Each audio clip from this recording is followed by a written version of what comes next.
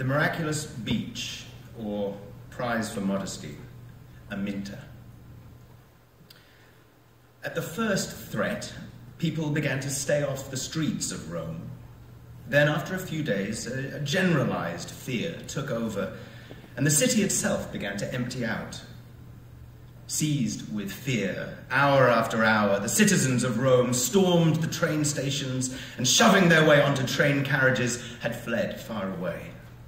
The richest people glutted their cars with oil and gas before bolting out of the 13 city gates and, kicking up dust, headed to the most distant cardinal points.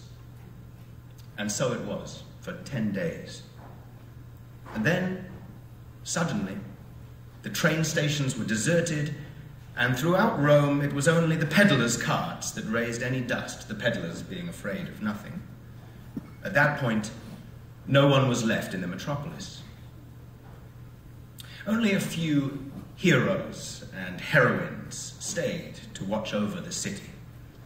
At midday, the heroes roamed imperiously through the streets, jacketless they allowed the sun to whip their silk shirts to shreds while vainly regarding their reflections in their belt buckles.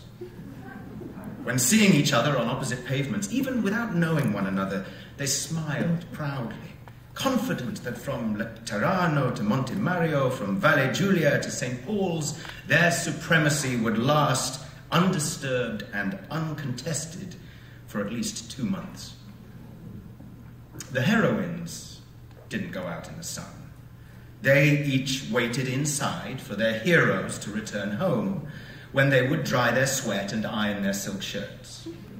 The women went out only at night, and exercising their wily ways, they would flick flirtatious glances with their stray cat eyes behind their companions' backs. Since I adhere to the laws of nature, and love the heat of the sun in summer, the heat of the stove in winter, I was among those heroes who hadn't fled the city during the summer onslaught. The heroine chosen to dry my sweat was called Aminta. Uh, this was once a male name, but my girlfriend's father did not know literary history. And uh, 18 years earlier, trusting his own ear, he had imposed that name on his newborn daughter. The priest who baptized her didn't dare inform the father of his innocent error. Aminta, at the first heat of summer, conceded immediately to the excellent reasons I had used to convince her that we should stay in Rome instead of departing for the, the mountains or seaside. And so, the first eight days of the heat wave passed easily. On Aminta's pale face, I never once detected the slightest indication of regret, repentance, disrespect, or desire.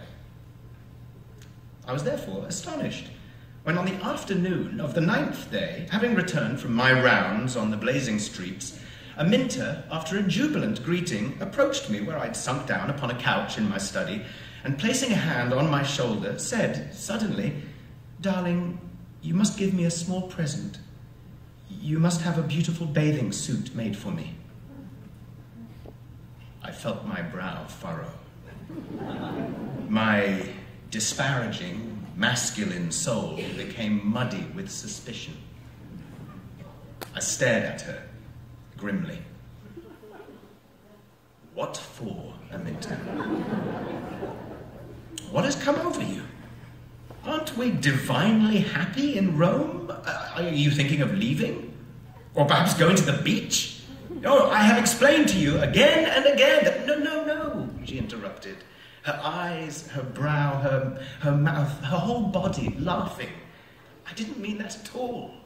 Yes, we're very happy here in Rome. Who would dream of leaving? I simply want a beautiful bathing suit in order to have a beautiful bathing suit. and once you have it, I will put it on. When? Every so often. For a little while every day. And then, and then, after a while, I will take it off. That's it. That's it, I swear. She was so transparent all suspicion vanished from my soul. I kept quiet for a minute in order to give greater weight to the words I was about to utter, then declared, Very well, all is fine. Yes, darling, go ahead and have a beautiful bathing suit made for yourself. She clapped her hands and jumped for joy, then tenderly kissed all of the sweat off my face in gratitude. Over the next few days, she was very busy. As for her research, studies, attempts, doubts, and resolutions regarding the construction of her bathing suit, I wasn't privy to her secrets. She went out a few times during the day and stayed in her room for long hours with a seamstress. She wouldn't allow me to know a thing. She wanted to surprise me with an unexpected masterpiece. Her face was full of happiness, day and night.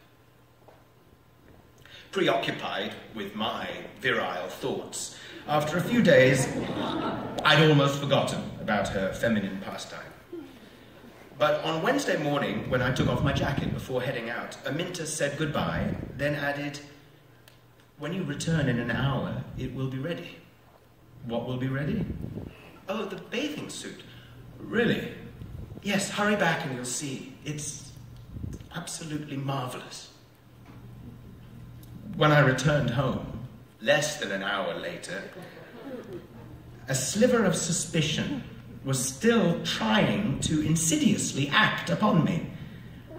Was it possible that this little story concerning the bathing suit marked the start of a campaign to get me to take her to the seaside? I went into my study where I, I, heard her voice coming from the other side of the door to her room. Don't come in. I'm ready. Sit down on the couch. Okay, I won't come in. Okay, I'm sitting on the couch. I stared at the door to her room.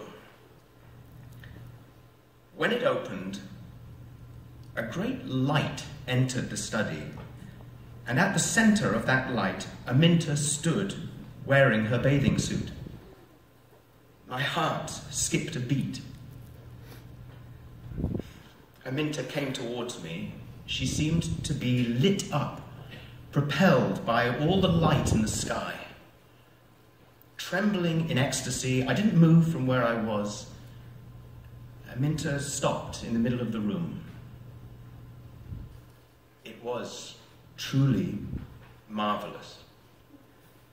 Pale rose silk draped down from her throat, accentuating her breasts, then gathered around her hips in a band of tiny pleats, flaring into a short skirt that didn't dare graze her flesh, the undulating hem quivering suggestively. Layered on top of the minuscule skirt's pink material was a flounce of acute triangles, their colour emerald green. Aminta stood in the middle of the room. In the light cascading from her eyes, the pale rose of the silk bathing suit changed from minute to minute into a thousand mother of pearl reflections. The green of the flounce suggested a swarm of shiny scarab beetles flying across a sunset. Amidst that effusion of tender colours, the white of her arms and legs became even paler. On her feet, she wore two small green satin slippers. Aminta was laughing with all of her soft flesh, with her entire green and pale rose bathing suit. She laughed and shook like a plant in a garden, and the room was filled with the scent of paradise. I didn't have the courage to move. Aminta was happy to be alive. Her laugh, sounding like uh, silver bells flying out the window and rushing up to heaven. Aminta sat herself down on the carpet in the middle of the room, her arms behind her and her white legs crossed, her torso reclining backwards and stretched out as if she were offering herself up to God. Her gaze landed on me. I still hadn't moved, and I held my heart in my hands. At the sight of my emotion, she was touched with affection and gratitude. Still trembling, I approached her. I sat beside her on the carpet and gently took her hand. I caressed her whole body with my eyes. Then I timidly touched the pale rose silk of her bathing suit with my forehead. Aminta's eyes, full of smiles, were swelling with tears of affection. They contained a message for me. In a trembling voice, she said, You see how beautiful it is, with no need to go to the seaside. I felt the entirety of her innocent soul pressing against me. I was overcome by love. And I too now searched for something simple to say to her. With my cheek resting on her cool arm, I whispered, Your modest desires deserve a prize. She softened and once again laughed joyfully. But when I didn't join in, she stopped laughing and looked at me expectantly. Something fluttered in the air and touched me. I saw that she also had felt something. Her shoulders instantly trembled, and she said, What is it? How beautiful! The whole room filled with a kind of light breath, which then immediately disappeared.